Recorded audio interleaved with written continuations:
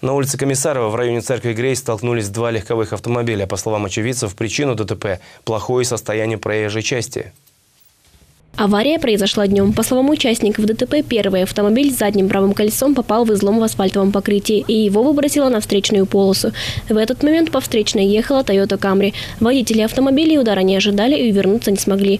Обе машины получили сильные повреждения. В результате ДТП пострадала женщина. Для нее сразу же вызвали скорую помощь. Ко времени приезда нашей съемочной группы большинство участников дорожного происшествия уже начали расходиться. После один из автомобилей удалось вытянуть буксиром, а вот для второго пришлось вызывать эвакуатор.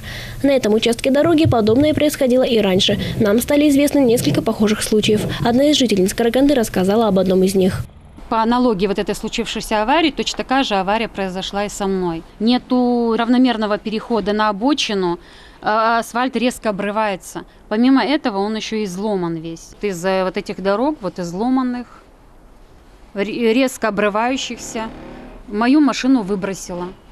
И из этого произошло столкновение со встречной машиной. Вот. В результате чего пострадали обе машины, нанесен очень ну, большой материальный ущерб. Ну, в моем случае мы обошлись без жертв. Оставлять все как есть женщина не намерена. Похожих случаев набралось немало. Она и другие, попавшие в аварию на этом участке дороги, собираются обратиться в дорожные службы. Для этого уже начали собирать некоторые материалы. Зафиксировали изломы и обрывы асфальтового покрытия, а также состояние дороги как в обычный день, так и в снежный тот день, когда произошла моя авария, очень много очевидцев, э, людей проезжающих подходили и говорили о подобных случаях, что очень много случаев именно вот на этом участке дороги происходит.